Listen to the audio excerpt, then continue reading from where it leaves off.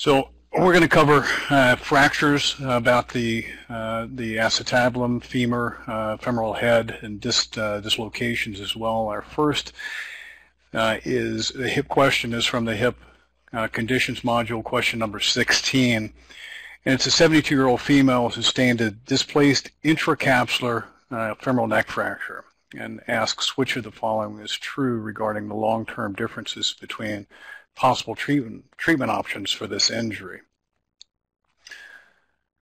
And let's see here. I am unfortunately having some difficulty advancing.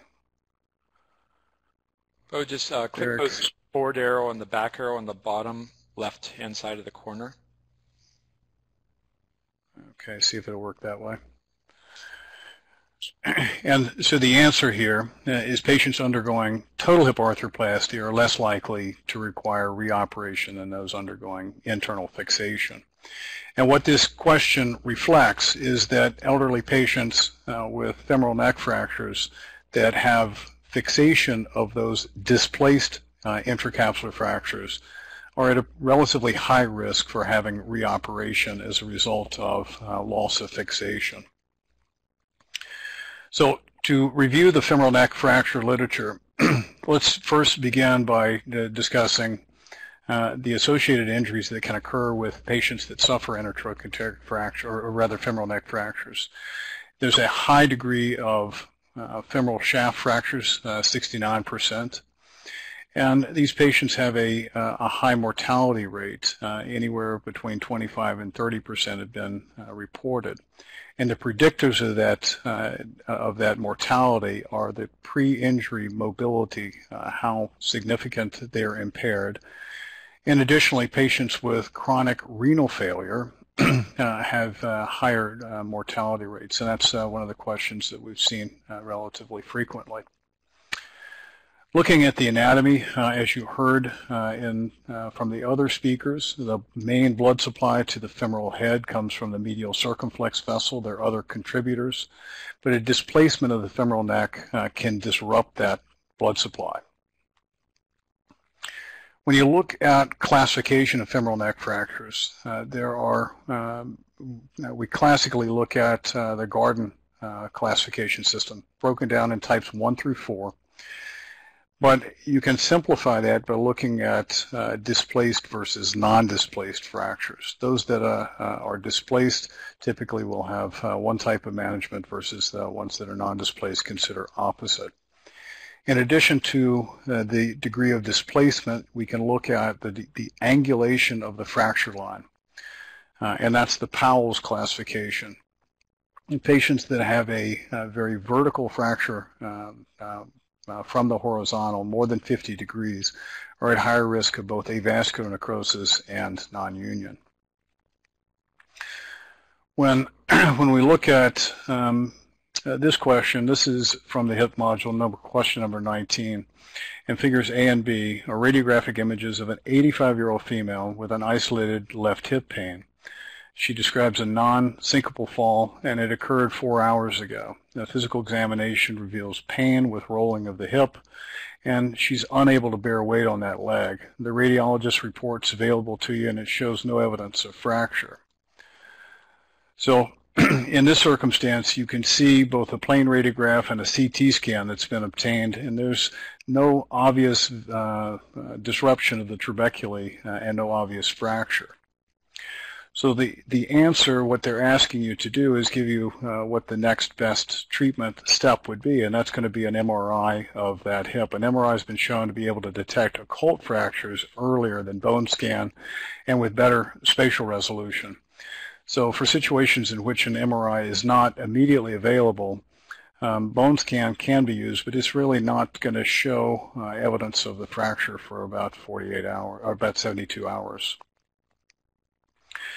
If you look at radiographic evaluation of the patient with a femoral neck fracture, CT scan can be helpful in determining the degree of displacement uh, in comminuted fractures in some patients, but it's not uh, one of the, it's not what we would normally first reach.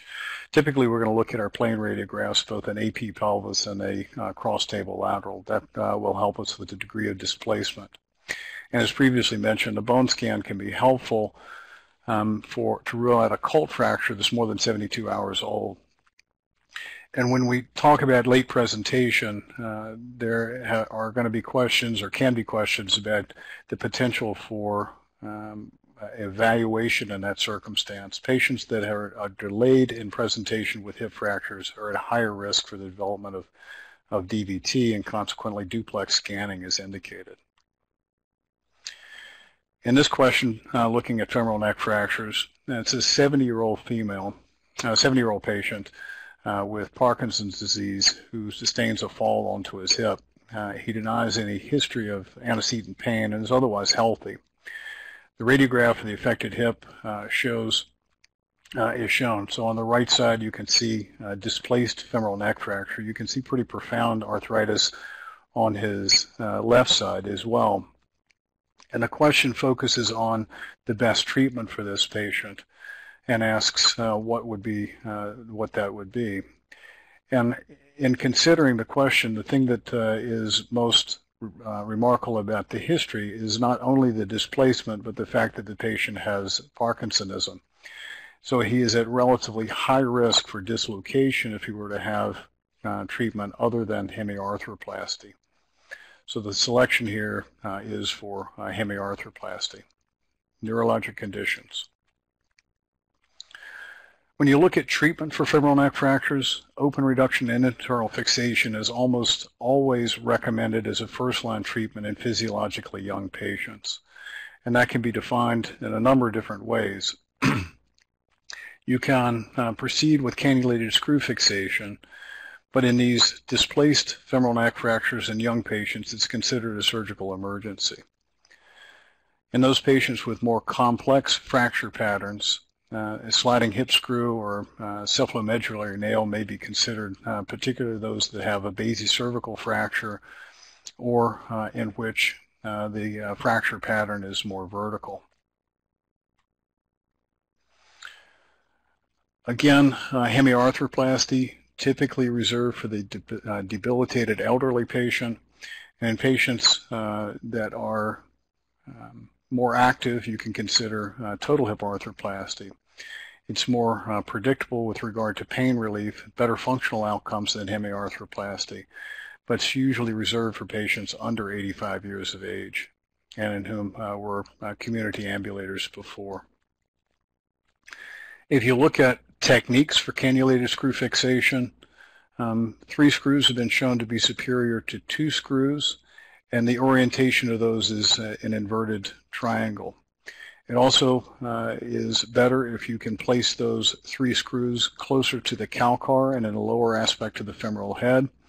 And the starting point uh, for that most inferior screw should be at or above the level of lesser trochanter to avoid uh, risk of, of fracture in the subtrochanteric area. Looking at hemiarthroplasty, uh, posterior approach is, uh, shows a slightly higher risk of uh, dislocation. Anterolateral approach has is complicated by uh, increased or the potential for increased abductor weakness. And most series show that uh, cemented is superior to uncemented techniques in this osteoporotic uh, patient cohort looking at femoral neck fracture,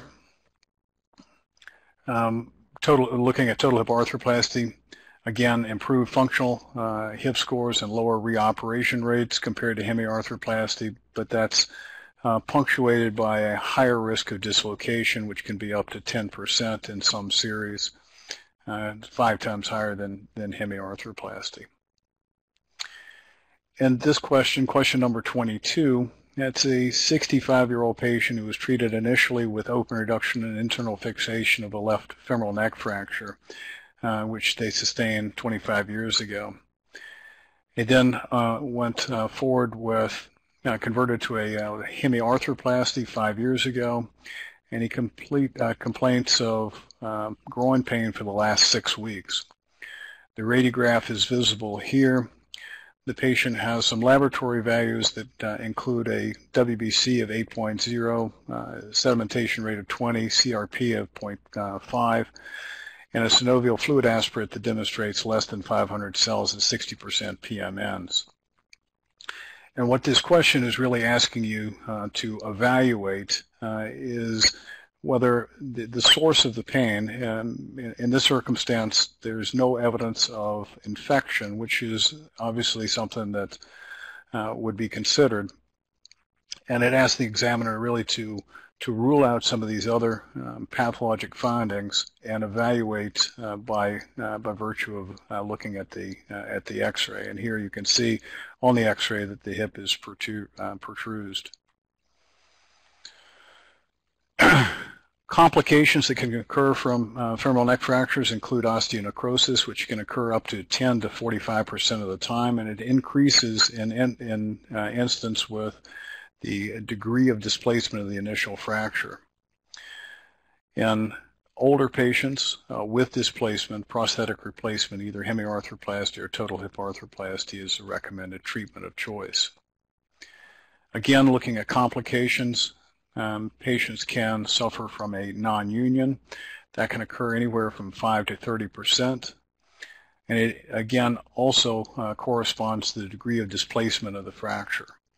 When a non-union does occur, uh, one potential treatment op uh, op option is to consider an intertrochanteric osteotomy, uh, which is a valgus osteotomy or Pauwels osteotomy.